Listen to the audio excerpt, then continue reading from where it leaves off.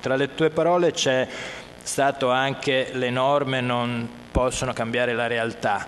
Uh, e questo mi dà modo di passare la palla a Raimondo Iemma del centro Nexa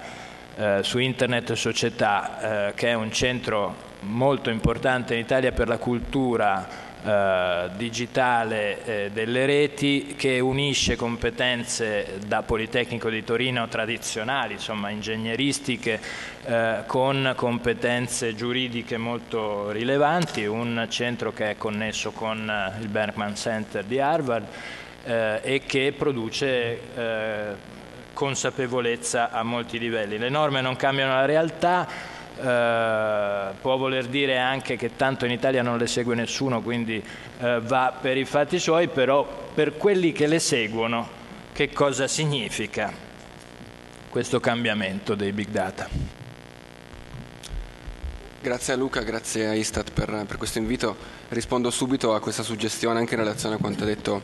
il dottor Firpo poco fa. Le norme non cambiano sicuramente il modo di, di agire, eh, mi viene da dire però in assenza di, capi- di, capitoli di spesa disponibili in questo momento per gli open data, forse le norme sono tra virgolette l'unica cosa che si può fare per mh, creare un, almeno delle condizioni favorevoli affinché le pubbliche amministrazioni rilascino i propri dati come aperti. In questo caso parliamo del, della sezione della cosiddetta agenda digitale che è stata promossa molto di recente e eh, almeno un paio di punti mi sembrano essenziali su questo. Il primo è ehm, forse passato, non dico sotto silenzio, ma poco commentato il fatto che da qui a 120 giorni si richiede alle pubbliche amministrazioni italiane di pubblicare il proprio catalogo di dati e metadati, che è una cosa che è scritta in una frase ma è invece un lavoro improbo. È improbo da un lato, ma dall'altro fornisce a chi poi deve riutilizzare i dati una sorta di ontologia, ho detto più volgarmente un menu, di quello che possono richiedere le pubbliche amministrazioni per far sì che questi dati prendano valore e diventino qualcosa che alimenta un servizio a valore aggiunto. E, ehm, questo sicuramente, poi un'altra prescrizione molto importante a mio avviso è il fatto che eh, diventano da qui a un periodo analogo di tempo eh, open di default tutti i dati e le informazioni che attualmente sono eh, pubbliche, quindi sui siti web distribuiti alla pubblica amministrazione, ma che non sono esplicitamente open, cioè che non sono accompagnate da un, da termini d'uso aperti esplicitamente. Eh, quindi le pubbliche amministrazioni avranno occasione di eventualmente suggerire che non è così, motivandolo, ma se non lo faranno da qui a 90 o 120 giorni, non ricordo bene, questi dati saranno pubblici. In assenza di investimenti pubblici nell'apertura di dati, questi mi sembrano già due cose che insomma cambiano la, eh, il contesto in cui si muovono le pubbliche amministrazioni su questo tema e ci allinea, o forse in parte addirittura ci fa sì che noi superiamo le, le, le direttive europee sul tema, in particolare la direttiva sull'informazione del settore pubblico che prescrive tutta una serie di eh, definizioni, approcci alla materia che addirittura l'agenda digitale in alcuni punti recepisce non solo ma, ma supera.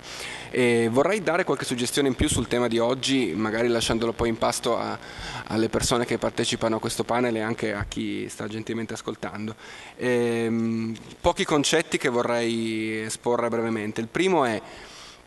il tema dei modelli di generazione, condivisione e riutilizzo della conoscenza non mi sembrano nuovi, mi sembrano addirittura vecchi quanto l'umanità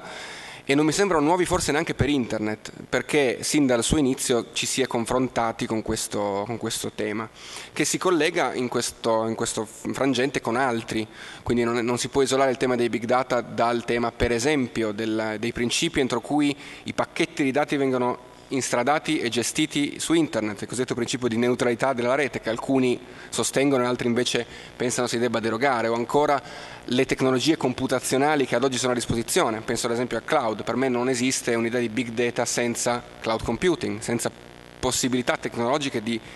gestire nella pratica questi grandi di dati. Eh, credo che l'accezione di big sia da riferire non tanto alla quantità ma al fatto che vengono prodotti in maniera costante e questo secondo me che caratterizza soprattutto la, l'attributo di Big, dati OX di, eh, di oggi, cioè promossi oggi, al giorno pro, ehm, ehm, vengono veicolati in rete l'equivalente di 212 milioni di DVD di dati al giorno. Eh, entro sistemi che sono, qualora siano di peering tra gli operatori che gestiscono il traffico, nel 99% di questi casi non sono sanciti formalmente. Questo rende la rete un ecosistema da un lato molto libero, dall'altro anche dotato di una certa fragilità da questo punto di vista. Eh, noi, come ricordato Luca De Biase ci occupiamo soprattutto della parte open della rete, di quelli che sono i commons digitali, quindi eh, delle enormi possibilità che esistono di riutilizzare contenuti senza restrizioni. Mi tocca però dire che, che la parte di open data è un sottoinsieme piccolissimo del, di quelli che chiamiamo big data, addirittura trascurabile in termini di proporzioni. E questo è un aspetto su cui, su cui, ci toccherà riflettere prima o poi perché se è vero che la rete consente anche molti me- modi di eh, racchiudere l'informazione entro contesti proprietari, e lo sappiamo tutti perché quello che facciamo tutti i giorni è questo, cioè consegnare in qualche modo eh, interazioni e dati a piattaforme che non sono aperte, al tempo stesso aumenta il costo opportunità direbbero gli economisti, di chiudere i dati in contesti proprietari, perché le esternalità positive, altra espressione che un tempo trovavamo solo sui, sui paper accademici economici, ma che adesso troviamo addirittura sui giornali, le esternalità positive dell'apertura dei dati, del fatto che tutti noi possiamo contribuire dal basso a generarli e a valle possiamo contribuire a creare nuova conoscenza a partire da questi dati, è incommensurabilmente superiore adesso rispetto anche solo a 5 anni fa o 10 anni fa. Quindi io vedo due modelli tra, tra di loro antitetici, in mezzo ce ne sono altri che per brevità non cito. Uno è quello dei modelli di business che sono nati anni fa e che hanno sfruttato il fatto stesso che parliamo di una rete per crescere molto rapidamente e crescere sulla frontiera della, di quello che le norme consentivano. Penso a un operatore come Google che ha, fa, ha generato in questi anni una serie di, di pseudo beni pubblici, che sono gratuiti, accessibili, non rivali in qualche modo, forse neanche non escludibili, e quindi sono quasi beni pubblici che però si inseriscono all'interno di un contesto proprietario che è cresciuto nel tempo e che, come dire, è diventato una sorta di monopolio di fatto in alcuni settori, che sono tanti. Un altro invece, quello emergente, di quello che in parte mi occupo anch'io, è legato alla, all'evoluzione anche tecnologica del web di oggi, Molti di voi avranno sentito parlare del cosiddetto web semantico, che, che, è ancora una formula un po' esoterica per spiegare quale può essere l'evoluzione della, della, dei formalismi entro cui l'informazione viene veicolata sulla, sulla rete, quindi un'informazione che diventa in, in pieno machine readable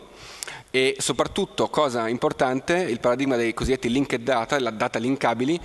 eh, questo può avvenire da parte di tutti, cioè ognuno di noi può contribuire alla definizione di concetti, all'introduzione di dati all'interno della mappa aperta delle informazioni eh, collegate che ci sono sul web. Penso ad esempio alla versione eh, semantica del, di Wikipedia che si chiama DBpedia che prende praticamente gli info box delle, delle, pagine di Wikipedia che tutti conosciamo per farle diventare delle, delle dichiarazioni eh, leg- interpretabili delle, dalle macchine per fare poi delle query avanzate, insomma, e gestire questi dati in maniera completamente diversa e aperta. Quindi questi due paradigmi mi sembrano in opposizione e, e molte delle scelte che faremo nel prossimo futuro, che faremo non solo noi o forse non noi, eh, saranno, cioè, determineranno i rapporti di forza che esistono tra un web eh, in cui eh, sostanzialmente si rispetta il principio iniziale di apertura e soprattutto libertà di espressione, libertà di contribuire tutti alla, a questa babele informativa che è il web, oppure quello che mi sembra stia già succedendo da molto tempo è, il fatto che ci siano pochi operatori che hanno in mano una grande mole di dati e che sostanzialmente in un contesto di grande apertura, cioè Google ti dice fai quello che vuoi ma fallo con me, in sostanza, in un contesto di, eh, dire, di, di, libertà, però dentro un recinto che è ben preciso, che è quello che è determinato da questi operatori. Aggiungo un aspetto che secondo me è importante e che è il seguente. Eh, una delle fonti principali di, di, questi big data siamo noi, cioè con il nostro comportamento, la nostra interazione in rete, il nostro comportamento di consumo, eccetera. Esiste mm, dire, un dibattito che secondo me dovrà essere, dovrà essere mm, pienamente eh, realizzato rispetto al fatto che eh, non è ancora, secondo me, chiaro sempre quale sia la, ehm, eh, il regime di proprietà e lo stato giuridico dei nostri dati in rete. Da un lato noi siamo quello che è l'analogo del, di quello che potrebbe essere l'autore di, di, qualcosa, quindi siamo l'origine dei dati, dall'altro chi sostiene un costo per gestire questi dati e quindi sostenendo questo costo anche, emerge anche un diritto su questi dati sono altri operatori. Pensiamo per esempio a cosa potrebbe succedere se eh, gli operatori di telefonia ci consegnassero periodicamente eh, informazioni dettagliate sul nostro eh, comportamento di consumo. Questa è una cosa che non avviene, avviene al massimo una sorta di eh, elenco di telefonate fatte eh, che, alleg- che, alleg- che, allegano le bollette, ma pensate se noi potessimo, nel settore della telefonia come in quello delle assicurazioni o in quello del consumo energetico, potessimo avere a disposizione il nostro comportamento di consumo. Questo ci consentirebbe da un lato di fare confronti con offerte concorrenti ed eventualmente posizionarci in maniera più efficiente noi come consumatori e consentirebbe in generale al mercato di avere una trasparenza eh, incrementata. Quindi questi atomi di big data che, siamo, che, sono i nostri singoli dati di consumo attualmente non sono appannaggio della nostra disponibilità. Eh, eh leggevo ieri una, eh, un manifesto che si chiama User Data Manifesto che hanno promosso alcuni soggetti in relazione a questo tema e, e quindi è un decalogo, sono otto punti eh, di rivendicazione dei dati per i consumatori. Sorrido a leggerli ma non, non per sarcasmo, anzi mi sembrano tutti molto sensati, ve ne cito alcuni disponibilità, cioè, eh, possesso dei dati, sapere dove i dati sono ehm, immagazzinati, eh, scegliere dove lo sono, eh, poter avere accesso al controllo laddove questi dati sono immagazzinati, eccetera. Sorrido perché tutte queste fattispecie in questo momento, nella stragrande maggioranza dei casi, non sono verificate, non è questo che succede. Quindi capisco anche la necessità di eh, promuovere un manifesto del genere, ma penso che tocchi proprio i punti che secondo me sono, sono basilari in questo caso. Riguardo alla pubblica amministrazione, e sto per concludere, che ho, ho preso anche troppo tempo, tempo, eh, quello dei big data mi sembra anche un modo cioè un paradigma per cominciare a ingegnerizzare certi processi di gestione informativa dei dati anche all'interno della pubblica amministrazione. Da Open Data la pubblica amministrazione non solo può tirare fuori ehm, effetti positivi sull'intero sistema di riutilizzatori potenziali, anche no profit, ma un modo migliore di gestire internamente i flussi informativi che si trova a dover eh, appunto gestire ne, nella sua quotidianità, anche per esempio recependo eh, i, i, feedback ricevuti da, dai cittadini sui propri dati. Attualmente non esistono per esempio processi e neanche strumenti effettivi affinché un dato rilasciato dalla pubblica amministrazione che ha il crisma della certificazione pubblica, una volta migliorato, eh, elaborato, eventualmente integrato con altre fonti dai cittadini, possa essere riacquisito dalla pubblica amministrazione che ne gioverebbe intrinsecamente, ma ne gioverebbero anche i potenziali riutilizzatori, avere una sorta di seconda versione dei dati che sono, non hanno la certificazione pubblica, ma che sono stati generati sulla base del lavoro di, di altre persone esterne alla pubblica amministrazione. Concludo con un punto, eh, il tema dei big data attualmente è soprattutto eh, affrontato eh, in termini di ricerca e quant'altro da ingegneri informatici e, e derivazioni, eh, io penso che sia importantissimo che questo tema eh, comprenda più vasta, il più vasto insieme di discipline e di competenze e anche e soprattutto quelle umanistiche, eh, penso per esempio ai filosofi, penso ai sociologi, penso ai semiologi, ecco in questo caso penso che eh, siano eh, proprio le competenze adatte e imprescindibili, oltre a quelle tecniche, scientifiche e giuridiche, per comprendere questo, questo paradigma nel miglior modo possibile. Grazie mille.